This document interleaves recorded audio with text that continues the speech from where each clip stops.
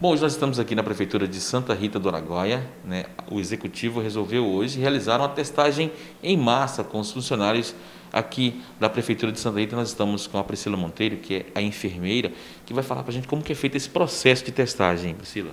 É, esse processo de testagem é muito importante ser realizado porque é, existem muitos pacientes que são pacientes chamados de pacientes assintomáticos, né?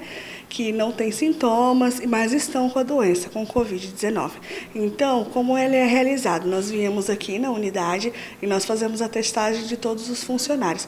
É muito importante lembrar que alguns sintomas do Covid são parecidos com a gripe, mas tem pacientes que são assintomáticos. Aqui na prefeitura, cinco pessoas positivaram.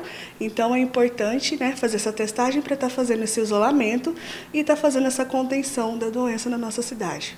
Só para a gente entender na prática, o que é utilizado para se fazer esse teste? Então, os testes são feitos, né? Aqui nós podemos ver que nós temos os testes rápidos, né? Cada pessoa é, usa um teste, que é uma plaquetinha dessa, né? Nós podemos estar tá vendo.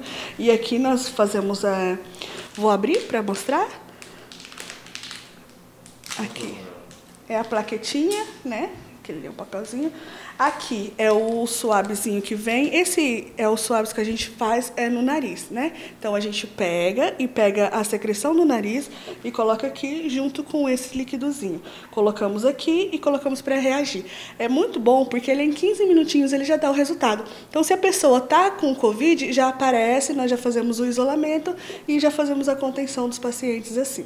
Muitas pessoas falam que é um pouco desconfortável, isso procede? Sim, é um pouco desconfortável, sim. Mas aqui, esse você pode ver que ele já é um pouco menor do que aquele outro. Então, você só aperta, coloca no nariz, só esse pedacinho, e pega um pouquinho da secreção. Então, ele é um pouco menos desconfortável do que aqueles outros, né? Mas é uma coisa muito importante para fazer. Infelizmente, não é indolor. Incomoda um pouquinho, mas é bem simples. Vou testar. Faz o teste em mim? Faço, faço sim. Podemos fazer o teste na prática em você.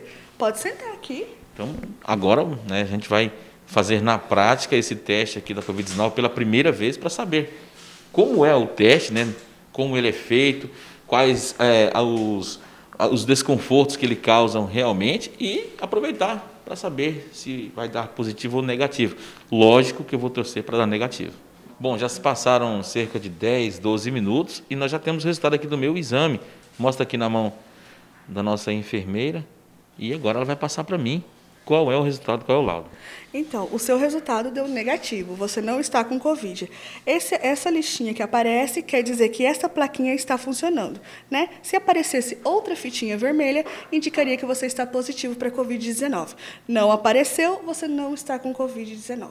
Posso ficar tranquilo por enquanto? Pode ficar tranquilo por enquanto, né? Usando as máscaras, fazendo todas as recomendações, né, no Ministério da Saúde, pode ficar tranquilo.